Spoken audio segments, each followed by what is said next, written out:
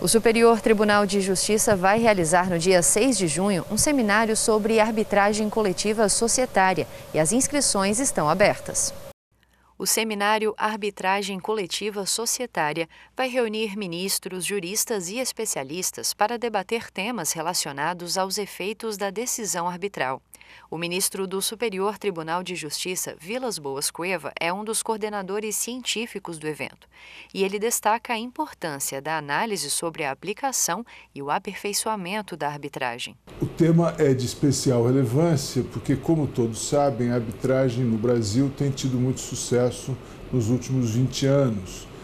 Houve desdobramentos, especializações, a criação de um subsistema, por exemplo, de arbitragem para o setor público, também com muito sucesso. Por isso, o seminário será particularmente importante para esclarecer a todos sobre esses temas tão relevantes. Os painéis de palestras e debates vão abordar temáticas específicas, como a confidencialidade da arbitragem coletiva e o direito de informação e fiscalização dos acionistas de companhias abertas, a arbitragem coletiva à luz da litispendência e da coisa julgada e ainda o efeito vinculante da arbitragem coletiva. Os três painéis serão integrados por professoras e professores, estudiosos da matéria, que terão por objetivo trazer reflexões, estudarmos juntos e buscarmos soluções para esse assunto que é de extrema relevância na atualidade. O tema das pretensões coletivas levadas à arbitragem,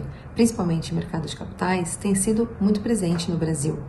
Muitos são os desafios ainda para a consolidação desse instituto no nosso país. Esses e tantos outros temas vão ser discutidos nesse seminário, né, que visa justamente o debate sobre esse instituto que pode contribuir muito para o acesso à justiça no Brasil.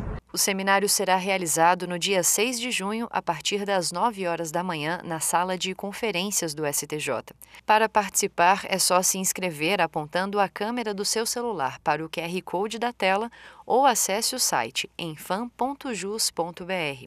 O evento será transmitido online pelo canal do STJ no YouTube.